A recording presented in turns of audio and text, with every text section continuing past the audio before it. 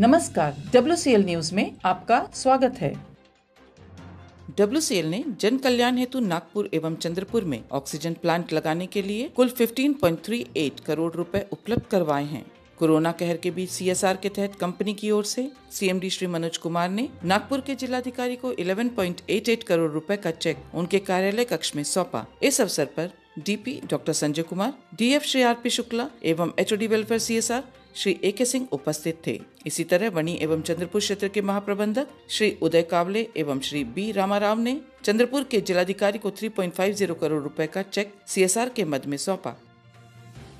प्रबंधन द्वारा प्रारंभ मिशन सेहत के अंतर्गत विभिन्न उपाय योजनाएँ लगातार की जा रही हैं। मध्य प्रदेश स्थित पेंच क्षेत्र के बड़कुई सेंट्रल अस्पताल में फ्लू क्लिनिक का शुभारंभ किया गया। इसमें ऑक्सीजन सुविधा के साथ चार बेड उपलब्ध हैं।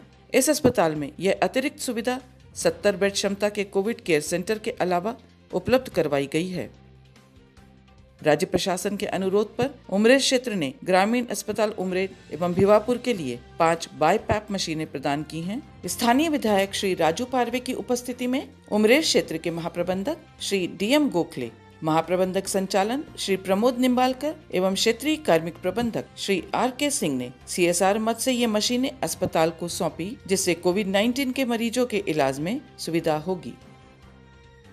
चिकित्सा एवं कल्याण विभाग तथा कोल क्लब के संयुक्त तत्वाधान में मुख्यालय स्थित कोयला विहार कॉलोनी में निःशुल्क कोविड जाँच शिविर आयोजित किया गया। बड़ी संख्या में कर्मियों एवं उनके आश्रितों ने इस सुविधा का लाभ उठाया।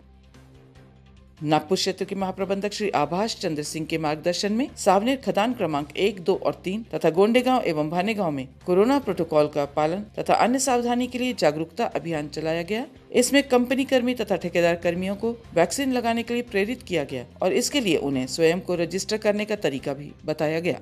नई खबरों के साथ फिर मिलेंगे अगले बुलेटिन में। धन्यवाद।